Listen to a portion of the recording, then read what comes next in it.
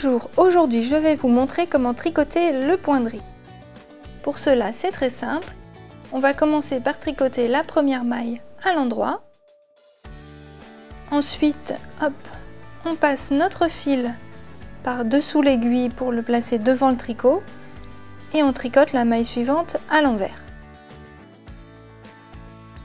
On repasse ensuite notre fil hop, par dessous l'aiguille comme cela pour le placer à l'arrière et on tricote ensuite la maille à l'endroit. On continue comme ça pendant tout le rang. On alterne maille endroit et maille envers. Pour le rang suivant, on va contrarier le tricot, c'est-à-dire qu'en fait, en dessous d'une maille endroit comme ici, on va faire une maille envers, voilà, et au-dessus d'une maille envers comme cela, on va faire une maille endroit.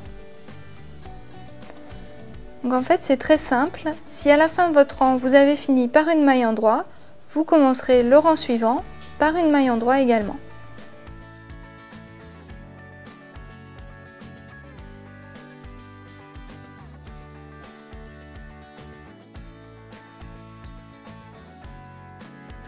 Au bout de quelques rangs, vous verrez apparaître le fameux point de riz avec ces petites boules qui ressemblent un peu à des grains de riz.